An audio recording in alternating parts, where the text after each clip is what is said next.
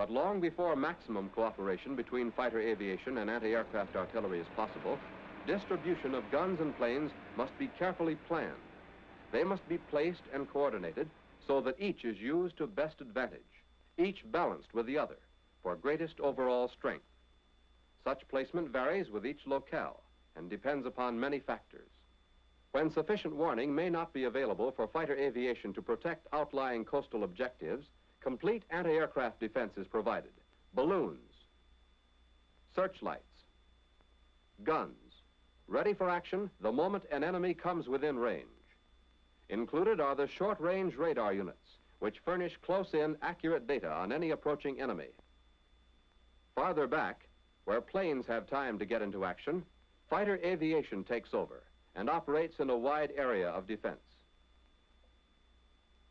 And about highly vital objectives, cities and industries that must be protected at all costs are concentrated all means of air defense.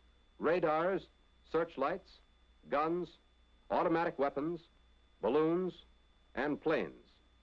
The best combinations to do the most effective job.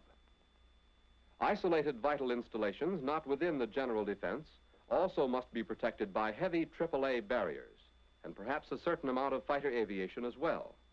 For most effective defense, the limitations of both guns and planes must be taken into consideration. Although the hard-hitting fighters can cover wide areas to defend separated objectives, they must have early warning to give them time for takeoff, time to climb, and time to reach a point of interception. Where sufficient warning is lacking, as in the case of bombers coming in under the beams of long-range radar, defending fighters might not know about the raid until too late, might never get off the ground at all. It is these limitations of fighter aviation which make it necessary for AAA to provide effective defense.